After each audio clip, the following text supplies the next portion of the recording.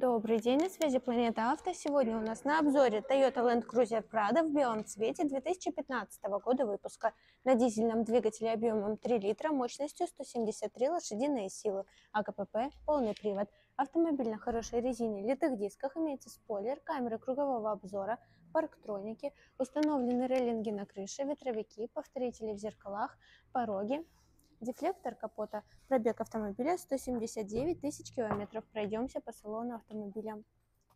Кожаный салон чистый, ухоженный, имеется люк на крыше, мультимедиа, климат-контроль, кондиционер, кнопка старт-стоп, режим спорт, подогрев передних сидений, мультируль, круиз-контроль, обогрев рулевого колеса, система курсовой устойчивости, электрорегулировка зеркал, электропривод рулевого колеса, омыватель фар, обогрев зоны дворников, электропривод передних сидений, память водительского сидения на две персоны, 4 стеклоподъемника.